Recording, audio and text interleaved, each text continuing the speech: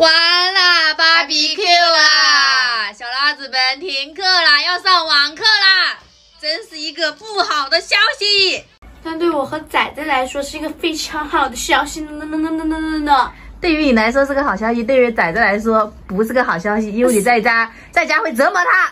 我没有折磨他，呢呢呢你就是折磨他了。他明明是自投怀抱。大家都应该知道我们在武汉吧，对吧？武汉这段时间的疫情又严重了，每天都有新增的病例。小辣子学校呢，天天都在做核酸，已经做了四次了，对不对？活动都要吐捅出茧了。对，今天放学之前又做了一次的。结果呢，今天放学以后，老师就发通知说九点钟开家长会，线上开家长会啊，然后通知我们实行线上上课了，就是上网课了。今天下午的时候，我们老师就把所有的书发给我们了，这说明什么呢？这说明。说明什么？这说明肯定是有什么紧急任务给我们发这么多书。你看啊，平时就几本书啊？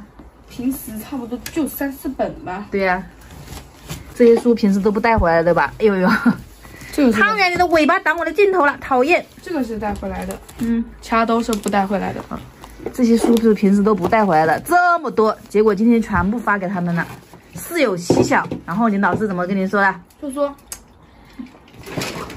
这最近要什么？武汉，嗯，新增几例，现在有三十六例了。然后就是今天在做一个核酸，就先上网课，但是先别告诉家长，以免引起家长恐慌。哎，结果呢，九点钟给我们开家长会，还是说了，嗯，其实我们已经知道了，这些书全是新的，因为都不怎么上的，这科学，还有道德与法治，还有什么卫生呐，这个这个都不上。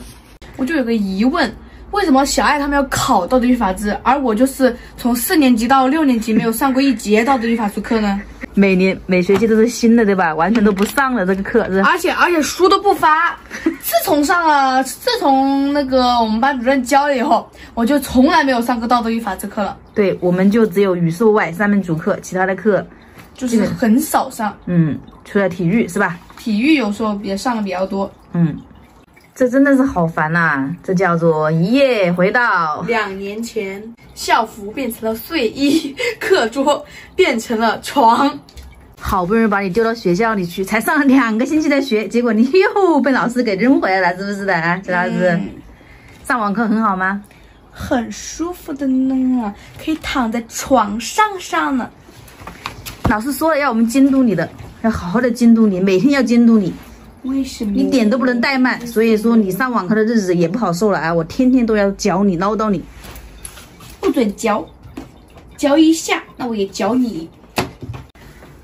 这位同学你在干什么？发疯，发疯，一停课就发疯。嗯，开心就发疯是吧？在家里整理啊，整理，然后好好在家里整理一下啊！这以后就是我，我梦想，这就是我以后 在上在上网课的小屋了。干嘛呀？